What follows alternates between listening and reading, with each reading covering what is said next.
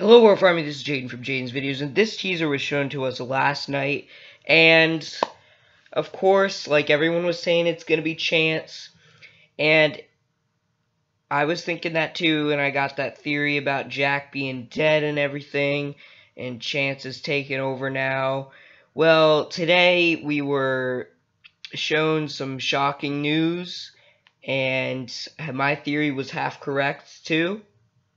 It is, in fact, Chance. As you can see, this is her new look. Uh, she looks so different from the last time we saw her, but you can see that it is the same actress playing her. It is the same actress of last year, we know that, and the year and 2007. Um, well, that's not the year before last year, but you know what I mean. The it is Erin Nicole Klein, but the voice is different. So I'd assume that the she has a voiceover in this one, and that because okay uh, just showing this is chance's look from last year. As you can see she's relying on uh, the colors for Jack the polka dots the reds and the blacks the orange and yellow in her hair and all that stuff. That that is chance from the carnage returns last year and this year she has completely changed. I'll get a picture up here in just a second.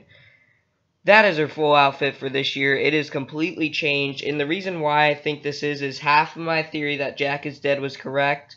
Uh, as you can see, her hair is shorter too, but, you know, that's just because the actress probably cut her hair, but she'll probably be back with longer hair by the time the event starts.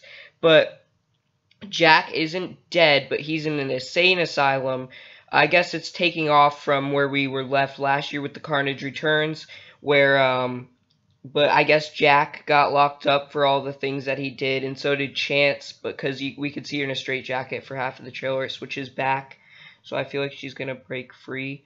Um, but it looks like Chance is going on her own now, and she doesn't have her Puddin' to rely on anymore. Um, so there you have it. It is Chance. Keep howling at the moon, my werewolves. Please comment, rate, and subscribe.